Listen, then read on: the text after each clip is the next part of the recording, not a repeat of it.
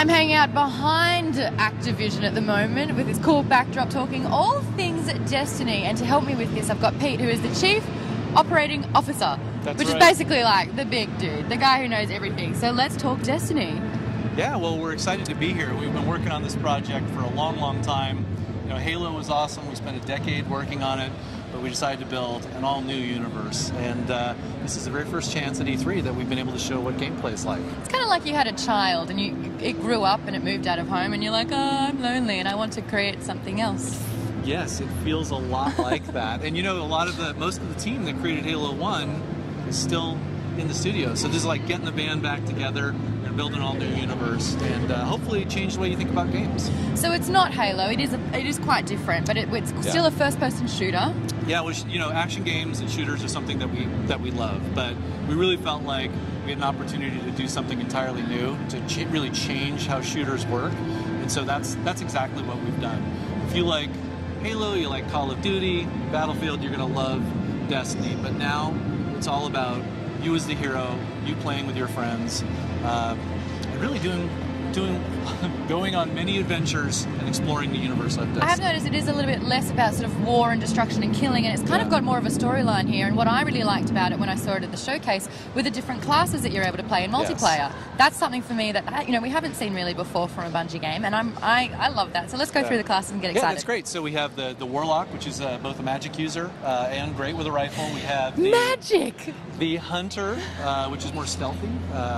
And then you have the Titan, which is like the big tank that goes in. All of them can deal with space magic, which we think is awesome, and that was a really important part of what we wanted to do.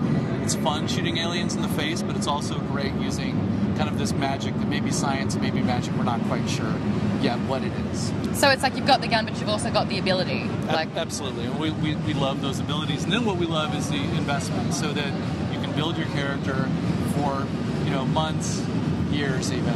And then can take that character that you've invested so much time in and you can take it into any kind of battle. Whether you're in great story narrative that we have or multiplayer, you'll always be able to take that same build wherever you go. And then when you want to try something else, that's great. Just build up another character. and also weapons you can build up. I noticed that when in the Yeah. demonstration there was this awesome weapon that had like lightning attached to it. Yep, that's right. Heaven. Yeah, that was an example of an exotic weapon. So, you know, weapons that have are brimming with like electric fire or the power of the sun. Like we think that we think that's awesome. And you can continue to grow their attributes and customize them over time. Same with your armor as well. But you're never going to have to fight other players to get cool stuff because we have something called the private loot stream, which means that all of the when you when you kill combatants, all of that all that great loot is just for you.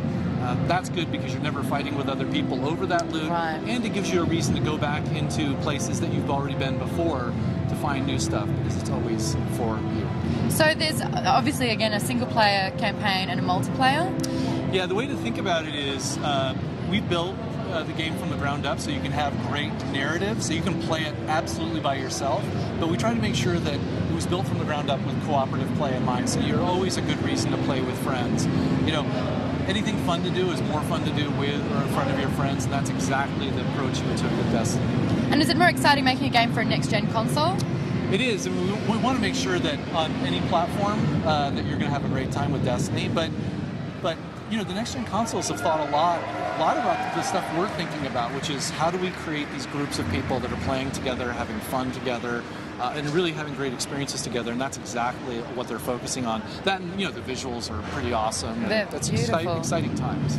So this is kind of for the person that likes to play with other people, get the headsets, kind of join in and, and play together. Yeah, I mean, and really, I think where we, we know we'll have won, where you take somebody who says, I really don't like playing with other people, don't want to do it, and yet when they enter the, the world of Destiny, they find themselves playing by themselves, and then they come into a public area, a public event, and all of a sudden they find themselves playing with other people, and maybe along the way they make some friends. Yay! I'm definitely going to do it. Let's play favorites. What's yours out of the Hunter, the Titan, and the, the I Warlock? I got to admit, I love being a warlock. Yeah? I, I just love, you know, there's nothing like throwing a huge purple nova bomb and watching enemies scatter. Uh, and you know, That's my love- happy place too. So I mean, I, I I love that kind of stuff. It's great, and you know, and, and the warlock has great. It's not just a support class like in many games when you come across warlocks. Mm-hmm. Warlocks are badass. Like they deliver serious offensive power. oh, no, d- defensive healing at all? Uh, there are there is some of that because every class has its own tweaks, but Yeah. but you're still you know you're not weak as a warlock. You're Okay. definitely a guardian of the city. Getting a little bit geeky with that. We need a healer. We need a healer. Um, so if people haven't played any kind of game like this before, why Destiny? Why now? Well, I think you know what we try to do is not just make great games, make great entertainment. You know, we, we want you to think about the universe of Destiny and put it on the same shelf of experiences like Harry Potter or Star Wars or anything else. I love I love Star and, Wars. And so, so hopefully you'll see the world we're creating and just say, I want to be there. Like, Yeah. I, I mean, I just want to be there, and you, you'll come and try it out. Fantastic. Thank you Yeah. so much. When can we Thank expect you. the game? Uh, 2014. We haven't yet to call a date yet, so we're a ways out. But we're already playing every day in the studio. It's Oh, exciting. you will? Yes, okay. will. and then I'll play and then we can play together. Yes, that's Because right. I think I'm going to go Hunter. Okay. Mm, Hunter's good. Yeah. Thanks right. again, Pete. Thank you.